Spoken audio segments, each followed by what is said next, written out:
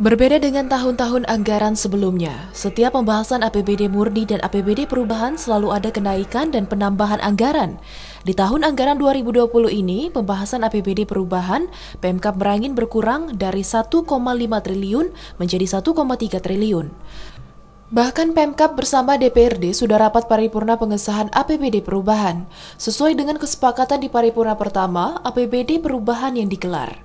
Bupati Merangin Al-Haris mengatakan, pasca penandatanganan pengesahan APBD perubahan 2020, OPD diminta untuk secepatnya melakukan serapan anggaran, namun tetap hemat dalam menggunakan anggaran sesuai dengan yang sudah disepakati bersama DPRD Merangin. Menghimbau pada kita semua, pada para pejabat, kemudian juga OPD agar betul-betul berhemat menggunakan anggaran dengan sebaik-baiknya. Tidak ada pemborosan-pemborosan. Gunakan yang tepat sasaran.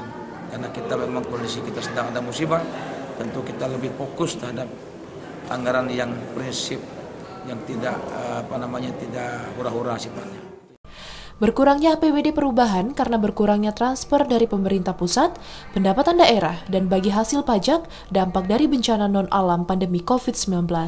Matiazen TVRI Jambi melaporkan.